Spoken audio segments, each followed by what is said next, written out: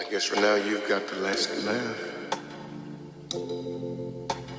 I'm sorry if I seem uninterested or I'm not listening or I'm indifferent. Truly, I ain't got no business here, but since my friends are here,